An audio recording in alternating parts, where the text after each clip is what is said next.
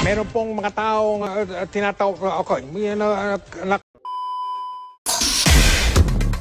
Huwag po kayong manahimik o magdalawang isip. Kung may alam kayong katiwalian o reklamo, ipaalam ninyo sa sumbungan ng hatlo, ng sumbungan ng bayan. Narito po ang aming hotline. So, sakaling manalo man, hindi ho ba, no? Sa mga... Sakaling manalo man, hindi ho ba, no? Sa mga uuwi bukas galing sa long weekend, Ate B. Di ba, nanalo, tuwang-tuwa kayo. Naku, magpakarga na po kayo dahil may... Po kayo dahil may... Magtaas na naman sa presyo ng petrolyo sa susunod na linggo. Maglalaro po sa 90 hanggang 1 Gis Good luck naman. kada litro ang dagdag sa gasolina. Sa diesel naman, 55 hanggang 75 centavos kada litro ang itataas. Pati kerosene po magmamahal din ng 45 hanggang 55 centavos kada litro. Lahat po dagdag. Eh, ganyan talaga. Mun- Tiis-tiis.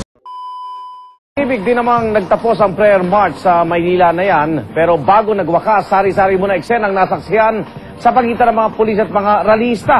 At live... Igan, pasado alas 8 ng tahimik na mag-disperse ang mga ralisa sa San Sebastian.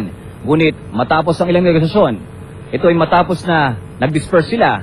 Pagkatapos ito, ah, hindi na sila nag-away. Nag-away sa sila simula. Pagkatapos ito ay nagkaroon sila ng ah, pag-aaway na sa simula.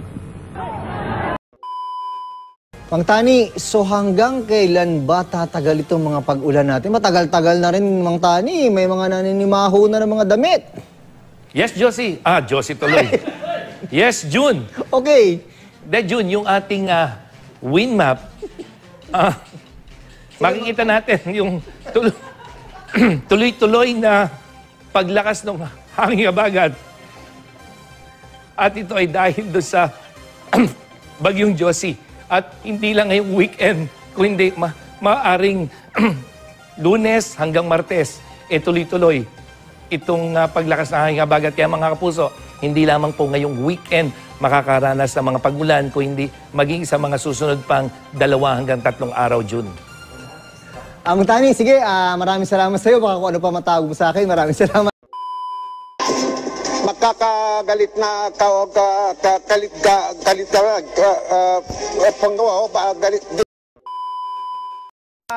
yung yung composition kanina ah, nakita natin yung pagdagsa rin ng mga tae ta- sorry po ng mga tao Kung naalala ninyo, nitong Setyembre, may lumutang din na bagong isla sa Pakistan, dulot ng malakas na lindol na tinawag na Salsala Ko. Walang nakatira sa islang ito sa Pakistan dahil nagbubuga po ito ng fl- flammable gas. Ito si Kabayan talaga, pinapatawa mo ko. okay. Yap.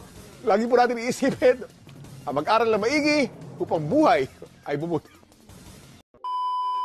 Yun yung mga chika ko this Thursday night. Ako po, si Ia Arellano. Oh, ah, ah, ah, ah, ah, ah, ah, ah.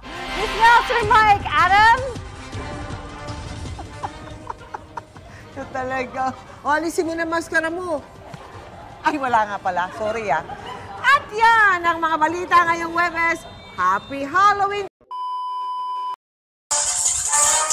Magandang umaga, Luzon. Magandang umaga. Oh, Magandang umaga, ano ba yan? Magandang gabi, Luzon. Magandang gabi, Visayas. Magandang gabi, Mindanao. Sa gitna ng paggunita ng Semana Santa, nagluluksa ang pamilya ng isang mag-ina sa lalawigan.